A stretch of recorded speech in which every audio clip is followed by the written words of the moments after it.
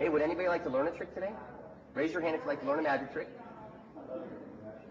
I need to ask uh, you two to leave. I guess we'll teach everybody. The old handkerchief trick, and I call this the old handkerchief trick because, well, look at it. Uh, self-explanatory. And a very, a very important thing when you're doing magic, but especially handkerchief magic, you always got to show your hands empty before you start, because magicians hide things like birds and livestock. Okay, so always show both hands before you start. Then you take the handkerchief when you're ready to do the magic, and you put it in the top of the fist, and you give what's known as the magic snap.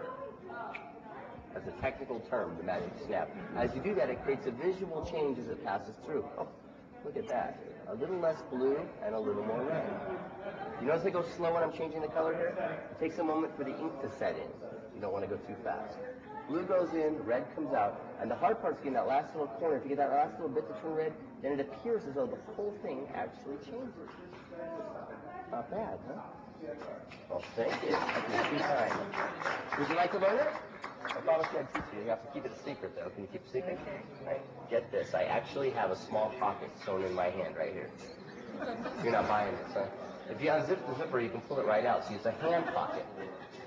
Yeah. Now let me show you exactly what I did. Before I started, before I came out, I took one of the handkerchiefs when you weren't looking, and I put it in the hand pocket.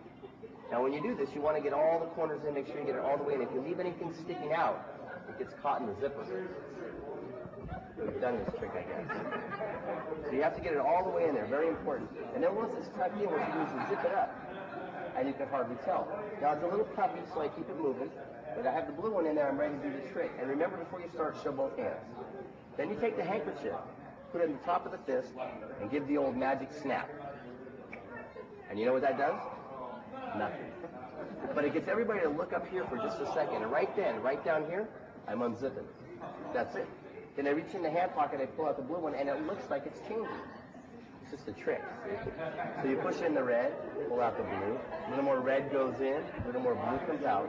And the hard part is getting the last little corner. If you get that last little bit to go in, as you pull it out, you zip up the hand pocket, and no one knows about it. So that's the amazing handkerchief trick that you can do for friends and family. And I hope you enjoyed that. Oh, thank you.